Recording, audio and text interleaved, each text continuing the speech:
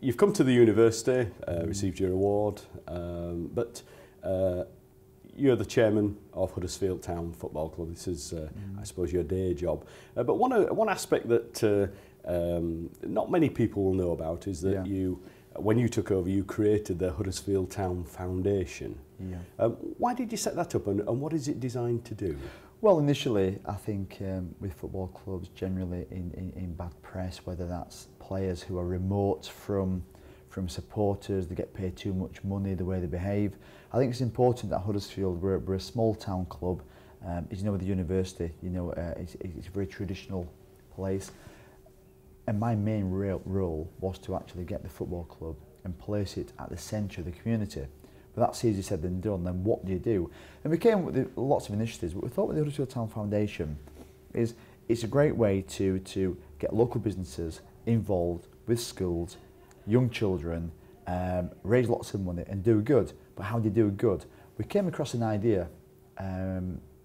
the breakfast clubs.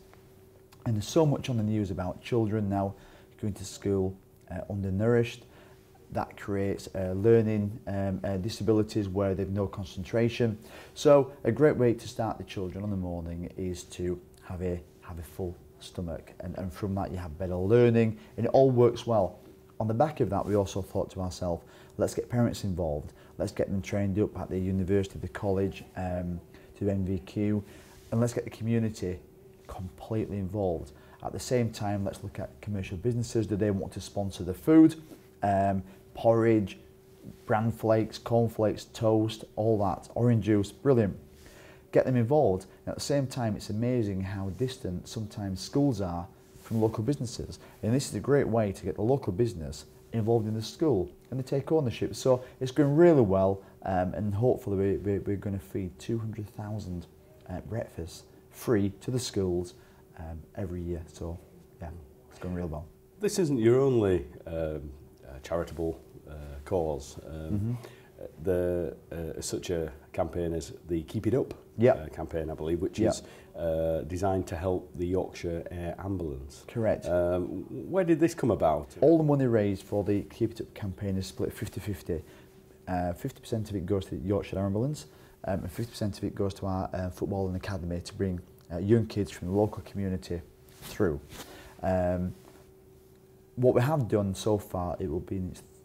three and a half years now, and this year we should crack the million pound. The Yorkshire Ambulance, it's an amazing thing which is, gets no government money.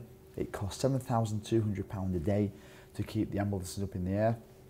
And so far, we set off walking from Huddersfield to Barnsley on a 19 mile walk to raise money. And Paul Gowland, their fundraising officer, said to us, Look, Huddersfield fans, this is fantastic. So far, you've raised £700,000. That equates to you guys have saved 15 lives. Now, to me, that's a, a it's heartwarming. Um, but we're also raising not just money for the Yorkshire Ambulance, but we're also raising awareness because all charities now need awareness, and it's got that Yorkshire theme. And let's be fair, whether it's something from London travelling on the M62, you never know when you need it. So for us, it's a great way. But more importantly,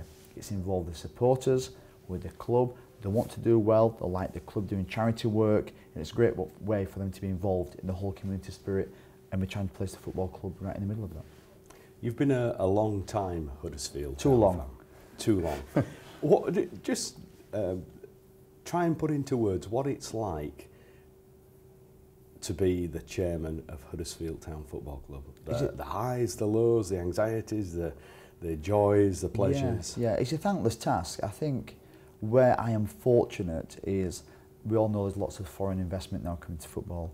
I'm a, a, a local lad, done well, been on the terraces for 35 years, jumped out of my seat into the posh seat. So I suppose for every fan, it's the dream. I'd never any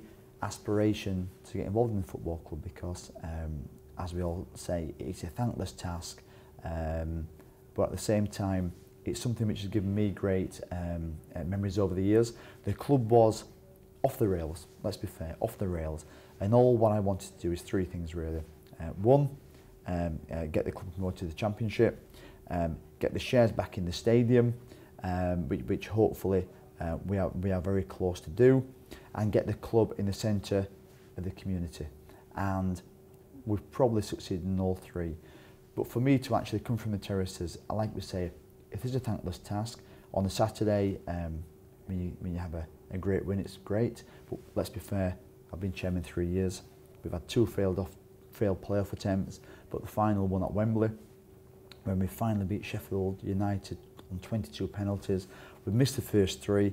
I went from being the lowest of the low, absolutely horizontal, deflated after three penalties, to 10 minutes later, I'm a championship chairman.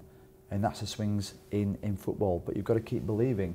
And I said to um, early Chancellor Sir Patrick Stewart on stage, never in doubt.